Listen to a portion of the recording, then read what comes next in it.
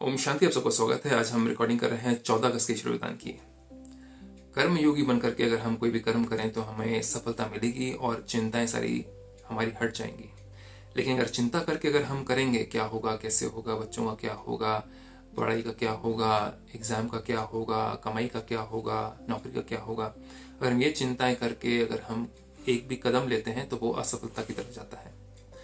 तो परमात्मा कहते हैं कर्म योगी बन, हर कार्य को कुशलता और सफलता पूर्वक करने वाले चिंता मुक्त भवा।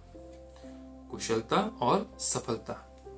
तो कई बच्चों को कमाने की, परिवार को पालने की चिंता रहती है।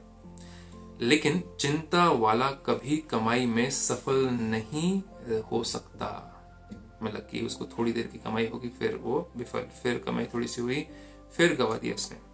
चिंता को छोड़कर कर्म योगी बन काम करो तो जहाँ योग है, वहाँ कोई भी कार्य कुशलता और सफलता पूर्वक संपन्न होगा। क्योंकि परमात्मा की गाइडेंस मिलती रहेगी। अगर हम अपने मन मत से और पर मत से औरों की सुन करके कर्म करेंगे तो वहाँ पे कहीं ना कहीं गड़बड़ होगी। क्योंकि कलयुग में आत्माओं के अंदर इतनी स्वच्छता नहीं है, इसलिए वो हमें गाइड नहीं कर सकती हैं आत्मा हंड्रेड परसेंट प्योरिटी से। तो इसलिए जो भी कर्म करना है, वो परमात्मा को साथी बना करके अपना संबंधी बना करके उनसे बातचीत करते हुए कर्म करना है कि, बाबा, साथी इसमें क्या करें? परमात्मा, पिता इसमें क्या करें? साजन इसमें क्या करें? अगर आप मेरी जगह तो क्या करते? ऐसे बातें करते करते करते कर्म करना है तो उसमें सफलता मिलेगी, जो भी कार्य करेंगे वो सफल होगा। तो ये प्रैक्टिस मैं भी करने की कोशिश करता हूँ, आप भी करने की कोशिश करें।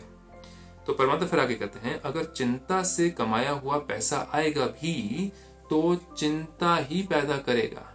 क्योंकि चिंता से अगर कोई पैसा कमाते हैं तो हम क्या करते हैं? या तो हम बहुत लोभ करते हैं उस समय कि भैया कमा लो, इस बारी कमा लो, अच्छे से कमा लो, दो हज़ार की चीज़ को दस हज़ार में बेच दो, पता नहीं आगे क्या होना हो। तो चिंता से कमाया। तो जो हमने एक्स्ट्रा करके, लोभ करके कमाया, वो जो आठ हज़ार कमाया, वो कहीं ना कहीं बीमारी में या किसी ना किसी चीज़ में, किसी प्रॉब्लम में जाएगा ही जाएगा। तो उसे कहते हैं, अगर चिंता से कमाया हुआ पैसा आएगा भी तो चिंता ही पैदा करेगा क्योंकि वाइब्रेशन वैसे होंगी।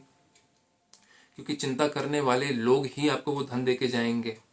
क्योंकि आपने वैसी आत्मा को ट्रैक किया। और योग युक्त बन खुशी खुशी से कमाया हुआ पैसा खुशी दिलाएगा, क्योंकि जैसा बीज होगा वैसा ही फल निकलेगा। तो जैसा बीज, संकल्प भी एक बीज है, संकल्प ही कर्म का बीज है। हम सोचते हैं कि बोला जो जो हाथ से के सर वो कर्म है, लेकिन परमात्मा कहते हैं संकल्प ही बीज है। तो आप जो सोचते हैं, अगर आप चिंता के संकल्प सोच करके कोई कदम लेते हैं, चाहे बिज़नेस में, चाहे अपनी जॉब में, चाहे किसी भी चीज़ में तो वो चिंता ही लेके आएगा। बिकॉज़ जो आपने फेंका यूनिवर्स में चिंता, वो चिंता वापस लेके आएगा। तो करें क्या?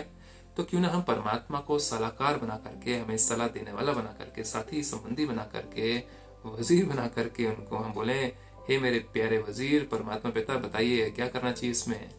तो ये करना एक युक्ति है जिससे कि हमारा योग भी लग जाता है और हमें परमात्मा से गाइडेंस भी मिल जाती है और सुख शांति की वाइब्रेशंस मिलती हैं जिससे कि हम सही कर्म कर पाते हैं योग में रह करके मतलब जुड़ कर करके परमात्मा, योग माला जुड़ करके।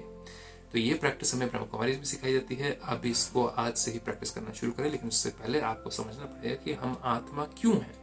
हम अपने आप को आत्मा माने तो उससे क्या फ़ायदा है? ओम शांति के साथ।